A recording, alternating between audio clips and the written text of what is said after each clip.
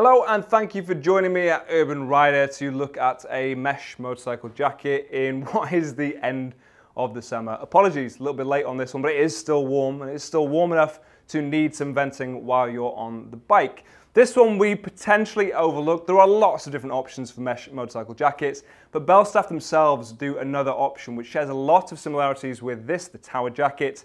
It shares a lot of the same materials and the same safety rating as well, and that would be the Temple motorcycle jacket, which is really nice, but it is more instantly recognizable as a Belstaff. This one, easy to overlook. However, I will say this doesn't really sell itself in the photos because looking at it, to be honest, I wasn't that excited just based on the photos that I've seen. But trying it on, walking around, it's a really nice fit and it's a really subtle design as well. So if you are looking at the Temple, and I'll just say they both come in at 275 pounds, they're both single A rated.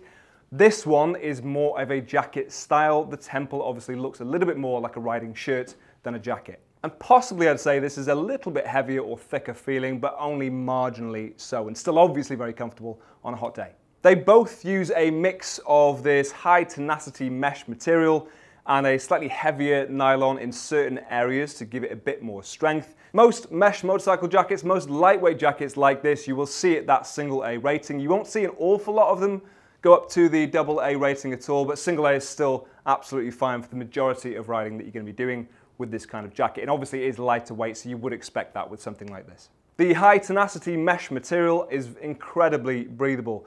That's the whole idea of mesh motorcycle jacket. In a hot climate, in warmer weather, it's going to allow a lot of airflow through, make you much more comfortable. Obviously slightly thinner in areas, so you can see under your arms there, around your rib cage, on the backs of your arms as well, you can see it is slightly lighter. Obviously that's going to be slightly more breathable, but even in the tougher or thicker areas, if you just open it up and hold it up to the light, you'll see it will still let a lot of airflow through. But most importantly, obviously, it's tougher in those areas. We're thinking about things like the back area, obviously on the backs of your arms, your shoulders as well. It's even more reinforced in those areas, as you can see, but still not too obvious to look at.